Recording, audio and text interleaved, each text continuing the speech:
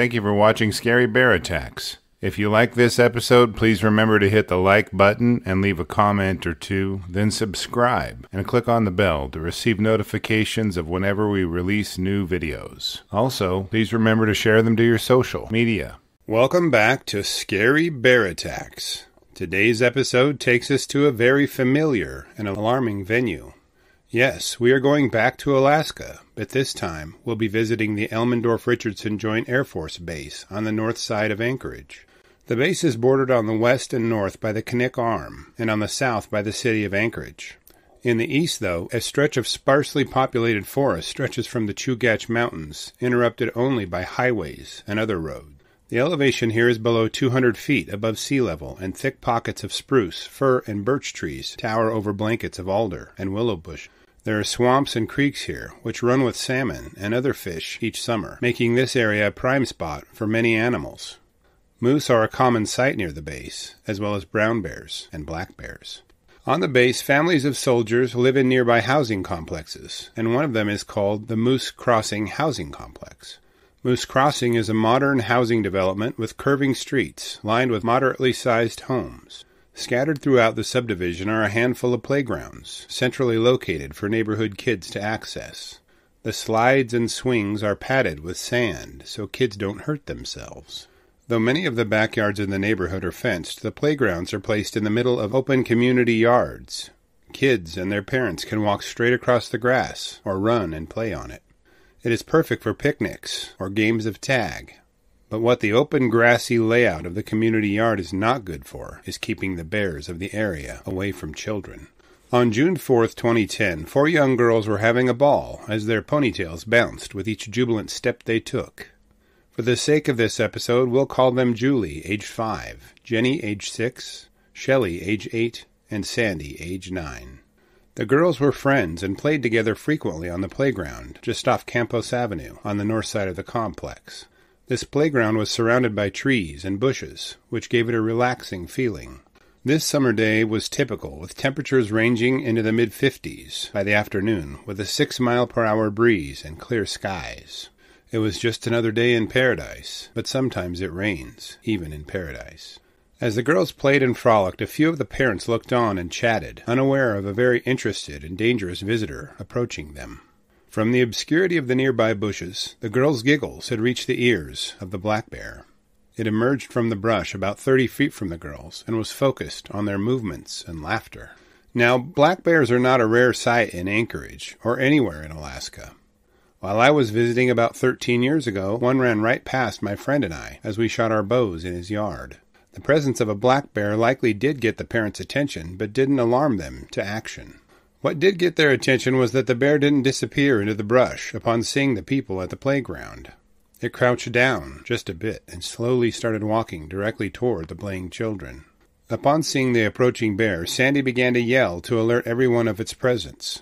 Once everyone started looking at the bear, they began to yell and scream at it too, but it continued its methodical stalk toward the children. Herman Griese is the wildlife biologist for the third wing on base. Part of his job was to educate the base residents on how to handle interactions with wildlife and stay safe doing so. He spent time in the schools and made sure to explain to the kids that playing dead was what to do if they surprised a bear. But how do you teach a child what to do when they encounter a bear demonstrating predatory behavior? His instructions were essentially the same as the ones adults received, and included making noise and trying to make yourself appear as large as possible. Remembering these lessons, Sandy puffed herself up and lifted her arms above her head, but the bear continued to slowly step toward the little girls. It seemed mesmerized by their vulnerability. Realizing that her efforts were not frightening the bear, Sandy dashed off toward her home to get her parents, hoping that they would be able to scare it off. Jenny, Julie, and Shelley were much too close to the bear to run away, and somehow the little girls knew that. Their lessons on bear aware behavior told them that running may cause the bear to chase them, just like kids do when another kid runs from them. The little girls told each other to play dead, just like they were told in their classrooms.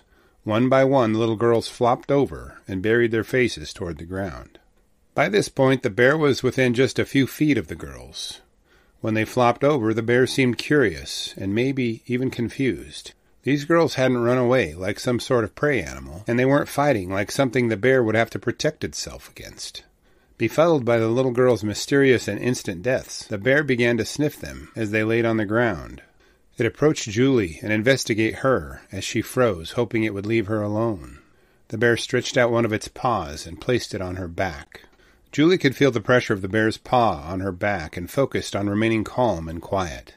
She held her hands alongside her head and neck to make sure the bear didn't bite her anywhere that would cause a severe injury. Julie could only wait, as she could hear the bear sniffing her and breathing. As the bear stood on and over Julie, Shelley and Jenny peered through their fingers, hoping it would not hurt their friend. As they watched, they could see the bear drop its head toward Julie's leg and open its mouth. It slowly closed its jaws on Julie's leg, and she let out a squeal at first. Then her fear grew into terror, and she screamed as the bear's teeth punctured her skin.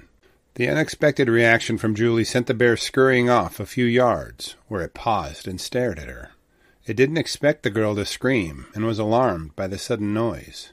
Just then Sandy's mom came running onto the playground. She yelled at the bear, and it showed no reaction to her presence or her shouts. The girls were instructed to walk to a neighbor's house, and with trepidation slowly obeyed Sandy's mom. As soon as the girls had entered the neighbor's house, Sandy's mom began walking slowly away from the playground toward Campos Avenue. The bear, having found a new fascination, followed her onto the street.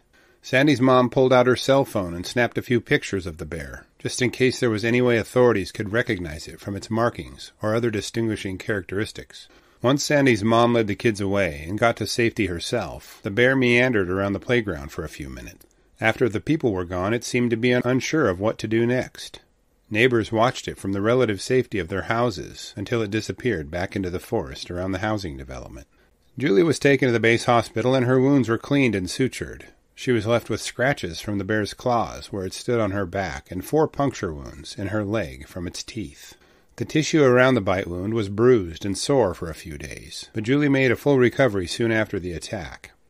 The mental anguish from the little girl's experience may scar her for life, but we are hoping it doesn't. As a result of this attack, the base refined its approach to bears. Its educational program that had taught children bear awareness was successful. The predatory behavior of this bear may have been amplified if the little girls had run away. It may have caused an attack by the bear, and the results of that may have been catastrophic.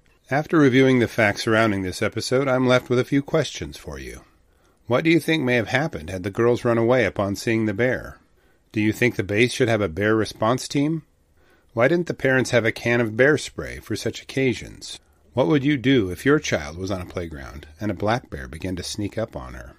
I will gladly read and reply to your thoughts, so please post them in the comment section below and let's talk about it. Thank you for watching Scary Bear Attacks. If you've enjoyed this episode, please consider clicking on the like button and clicking on the bell icon. We'll help you know when we post our new episodes. Posting our video links to your social media profiles furthers awareness, and it's fun. We slashed our prices in our merch store, linked below, so check out the bargains there while you shop. As a member of our human community, remember to adventure bravely and be careful out there, especially in bear country.